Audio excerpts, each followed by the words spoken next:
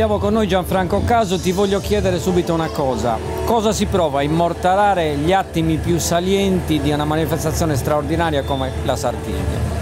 Molta emozione, molta emozione eh, da quando sono appunto il fotografo ufficiale della fondazione, eh, anche diciamo così vado un po' in ansia da prestazione perché comunque eh, ti giochi, aspetti un anno per fare una foto in un momento, tipo per esempio la discesa del capocorsa, è veramente davanti a tanta gente, soprattutto tanti colleghi, siamo spalla a spalla tutti quanti, basta una piccola vibrazione, un piccolo movimento e l'attimo fuggente vola via e quindi sbagli tutto. Una curiosità, qual è stato lo scatto più difficile che tu hai fatto nella tua carriera?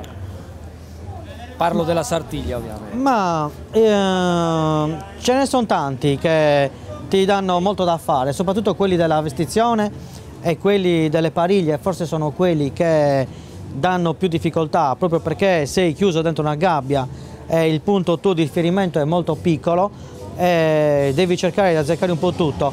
Poi ultimamente alle pariglie soprattutto abbiamo veramente poca luce, quindi agisci anche con con diciamo così, molti elementi limitanti. Ti voglio chiedere invece una terza domanda che ci riguarda. Sei soddisfatto della copertina che Antasat ti ha regalato e ha regalato ai nostri lettori?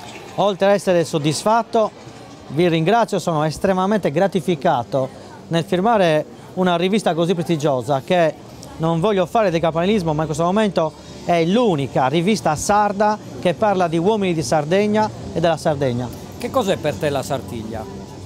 La Sartiglia è, diciamo così, soprattutto emozione, ma anche, perché no, sardità, dove veramente esprimiamo la, la Sartiglia non è alla decima edizione, sono state fatte più di 300 edizioni, la Sartiglia ormai è storia della tradizione di Sardegna.